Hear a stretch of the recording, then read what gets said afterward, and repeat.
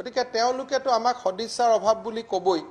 বৰ্তমান ছাত্ৰ সন্থা এটা ৰাজনৈতিক দল আজিৰ মুহূৰ্তত।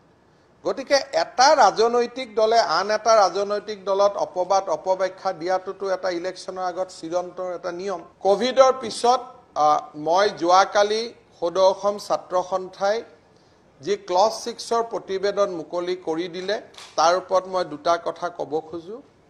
যে অসমীয়াৰ সংজ্ঞা নিৰ্ণয়ৰ অধিকাৰ অসম বিধানসভাৰ। কেন্দ্ৰীয় চৰকাৰৰ ইয়াত ভূমিকা নাথাকে যেতিয়ালৈকে অসমৰ ৰাজনৈতিক দল আৰু ৰাজ্যৰ সাৰ্বভৌমত্ব চিন্তাৰ প্ৰতীক অৰ্থাৎ আমি আমাৰ যিটো ৰাইজৰ চিন্তা সেইটো বিধানসভাইহে প্ৰতীয়মান কৰে। গতিকে বিধানসভাত যেতিয়ালৈকে অসমীয়াৰ সংজ্ঞা নিৰূপিত নহয় তেতিয়ালৈকে কেন্দ্ৰীয় চৰকাৰে এই ষষ্ঠ অনু ষষ্ঠ ক্লজৰ ওপৰত কৰিবলগীয়া বিশেষ একো নাথাকে। ৰাজ্য চৰকাৰে বিধানসভাত এই কমিটিৰ অনুমোদন কোনোবা এটা সময়ত লৈ আহিব। আৰু বিতৰ্কৰ পিছত অসমীয়াৰ সংজ্ঞা নিৰূপিত হোৱাৰ পৰৱৰ্তী পৰ্যায়তহে কেন্দ্ৰীয় চৰকাৰে ইয়াত প্ৰৱেশ কৰিব পাৰিব। আগতীয়াকৈ কেন্দ্ৰীয় চৰকাৰে ইতিমধ্যে ডিলিমিটেশ্যন আয়োগ আদি গঠন কৰি এই ক্লছ ছিক্সৰ ৰিপৰ্ট ওপৰত তেওঁলোকে প্ৰাৰম্ভিক ব্যৱস্থা ইতিমধ্যে গ্ৰহণ কৰিছে।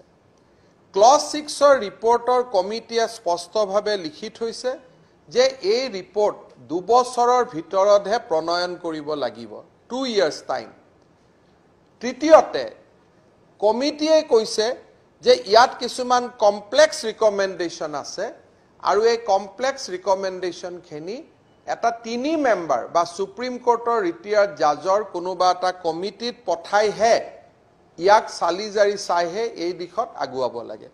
গতিকে মই ভাবোঁ যে সদৌ অসম ছাত্ৰ সন্থাৰ মঞ্চৰ পৰা কালি যি পাঁচ মাহৰ ক্ষোভৰ কথা কোৱা হৈছে যে পাঁচ মাহ দেৰি হৈ গ'ল মই ভাবোঁ যে ৰিপৰ্টটো প্ৰকাশ নকৰাকৈ সতৰ্কতাৰে আগবাঢ়িলে কাম কাজ আৰু বেছি ভাল হ'লহেঁতেন বিতৰ্ক নহ'লহেঁতেন। কিন্তু ৰিপৰ্টটো প্ৰকাশ কৰি এক প্ৰকাৰ জটিলতাৰ সৃষ্টি কৰাক বাদ দি আন একো হোৱা নাই। কিন্তু ৰাজ্য চৰকাৰে আমি ষষ্ঠ ক্লছ ষষ্ঠ অনুসূচী ছয় নম্বৰ দফা আমি ৰূপায়ণৰ কাৰণে প্ৰতিশ্ৰুতিবদ্ধ আৰু ৰাজ্যৰ হাতত থকা কাৰিকৰী কাম সম্পূৰ্ণ কৰাৰ পিছত এই দিশত কেন্দ্ৰীয় চৰকাৰৰ কাম হাতত কাম আগবাঢ়িব। কিন্তু বাৰগৰাকী ব্যক্তিয়ে অসমীয়াৰ সংজ্ঞা এটা নিৰ্ধাৰণ কৰি দিলেই সেইটো অসমীয়াৰ সংজ্ঞা নহ'ব।